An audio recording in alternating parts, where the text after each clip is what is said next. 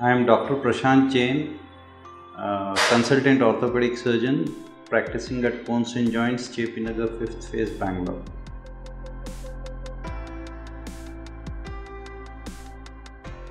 Well, the fractures in children are very different from that of fractures in adults, and this is because of the physiology of the bone.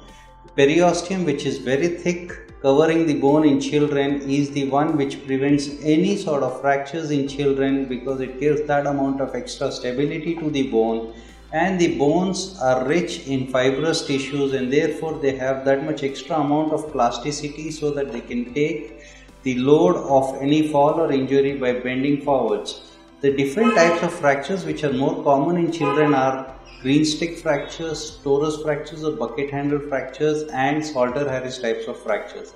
Salter-Harris type of fractures are the fractures which involve the growth plate and they are classified from type 1 to type 5 with type 1 being the least severe and type 5 being most severe and may even lead to deformity in further growth of the bone.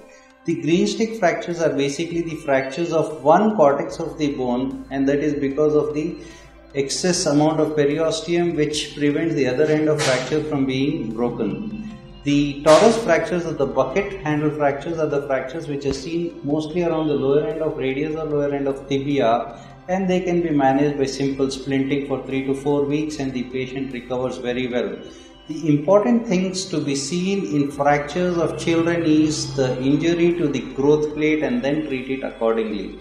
The most common sites in children which can get fractured are the elbow, the lower end of radius, the forearm, the tibia, the femur very occasionally and very very rarely the neck of femur.